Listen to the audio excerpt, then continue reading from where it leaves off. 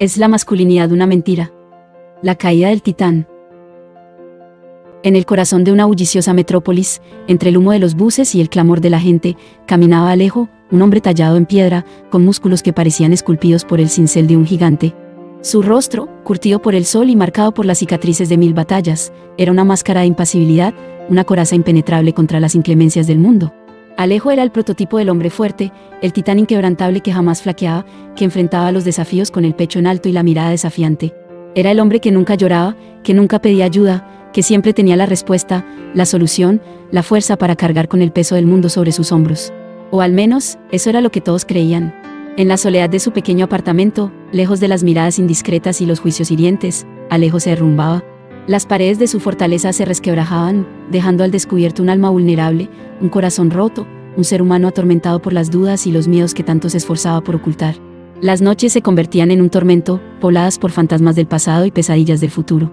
La imagen del hombre inquebrantable se desvanecía, reemplazada por la de un niño indefenso que anhelaba un abrazo, una palabra de aliento, un refugio donde esconderse del dolor. Alejo no era un superhombre, era un hombre como cualquier otro, con sus debilidades y sus flaquezas, pero la sociedad en la que vivía le exigía ser algo que no era, una máquina de guerra sin sentimientos, una roca inmutable ante las tormentas de la vida.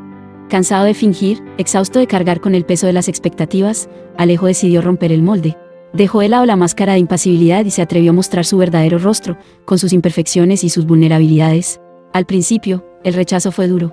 Las burlas y los comentarios hirientes lo laceraban, pero poco a poco fue encontrando un grupo de hombres que, como él, se negaban a seguir encadenados a los estereotipos.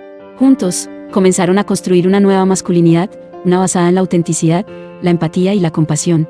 Una masculinidad donde los hombres podían llorar sin vergüenza, expresar sus emociones sin temor al juicio, pedir ayuda sin sentir que se debilitaban. La lucha no fue fácil, pero con cada paso que daban, se acercaban a un mundo donde la masculinidad no era una jaula, sino un camino hacia la libertad y la realización personal.